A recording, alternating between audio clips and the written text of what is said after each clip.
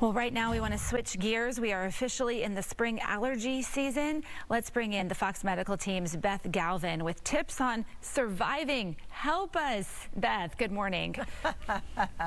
Good morning, Sally and Lena. Yeah, you know, we're now sort of in the middle of the spring allergy season. It typically starts in March, and then we really start to see a pickup towards the end of March. And as we head into April, that's when we expect to see really a peak in the misery for, for people who have you know, sensitivity to pollen and pollen, really what's driving this tree pollen, you know, weed pollen, all that kind of stuff uh, in the air right now, making a lot of people uh, very miserable. Well, what should folks be paying attention to? Um, do we need to look at the pollen count every morning? How do we limit our exposure? Because that's so hard right. to do. So a few things. So, um, you know, if you're somebody who usually needs medication, you should be taking it already. Don't wait until you wake up and you're having symptoms to, to take your medication. It's pretty important to take it consistently throughout the season just to sort of head off an issue rather than trying to treat it once it's already started.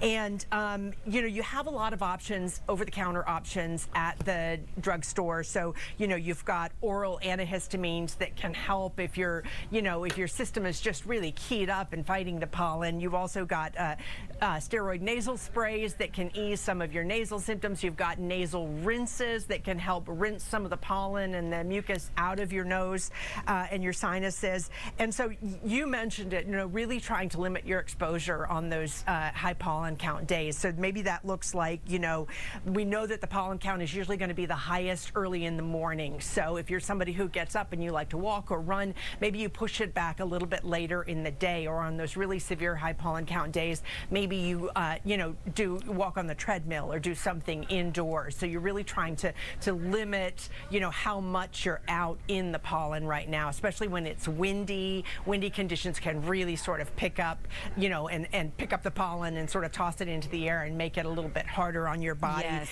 And then finally, you mentioned checking the pollen count. You know, the meteorologists uh, will give you the pollen count every morning, and that's important because you just just want to know what to expect. Mm -hmm. Sally and Lena? Absolutely. Beth Galvin live for us this morning. Thank you so much, Beth. Have a great rest Thank of your you. week.